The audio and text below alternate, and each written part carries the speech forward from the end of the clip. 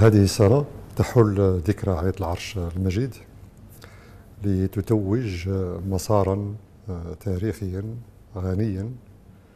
ولتتوج كذلك 21 سنة من العهد الجديد حافل بالإنجازات على كافة المستويات. ويمكن يعني بالمعنى ديال المعنى الخلدوني بالمعنى ابن خلدون اعتبار هذه 21 سنة دورة تاريخية كاملة مفتوحة على آفاق واعدة. أقول مفتوحة على آفاق واعدة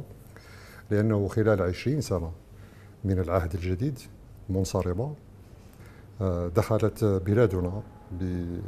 تحت القيادة الرشيدة لصاحب الجلالة في آه، سلسلة مترابطة ومتكاملة من الديناميات ومن الأوراش الإصلاحية التي مكنت بلادنا من أن تتجنب رغم قساوة آه، وشدة التحديات والتعقيدات النابعة من محيطنا الإقليمي والجهوي والدولي ولكن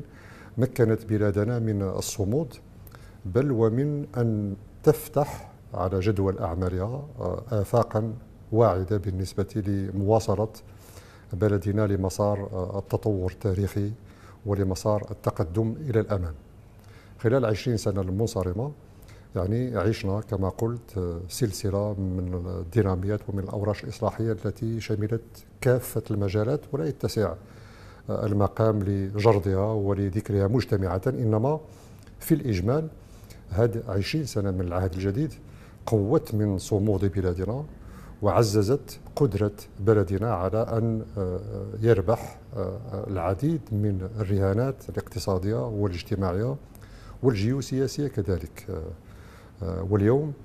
عندما نفكر فيما تقوله الوفود التي اعتدنا على استقبالها هنا بمقر البرلمان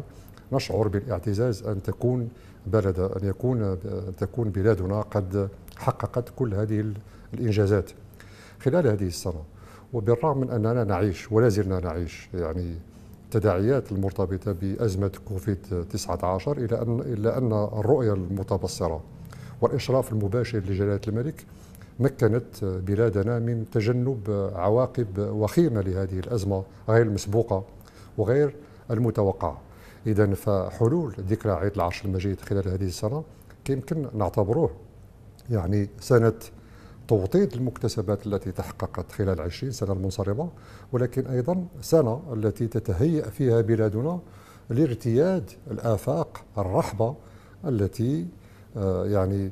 انفتحت أمام البلد بفضل تلك الأوراش وتلك الديناميات الاصلاحيه التي شملت كل المجالات وكل المستويات. آه، الجميع يعرف آه، النتائج المترتبه عن هذه الأزمة ولكن كذلك الجميع يقر اليوم بفرادة وتميز آه، التجربة المغربية في التعاطي مع النتائج الكارثية لهذه السنة. وبالرغم من أن الوضع الاجتماعي آه، أصبح اليوم بفضل هذه بفعل هذه الجائحة وضعا صعبا وبالرغم من أن عجلة الاقتصاد الوطني قد تضررت في في عدد من القطاعات وبالرغم من قساوة النتائج التي ترتبط عن هذه الجائحة سواء على المستوى الصحي أو على المستوى الاقتصادي أو على المستوى الاجتماعي ولكن البلد تهيأت لها اليوم فرص ومقومات الصمود بل وارتياد الآفاق الجديدة التي فتحتها تلك الأورش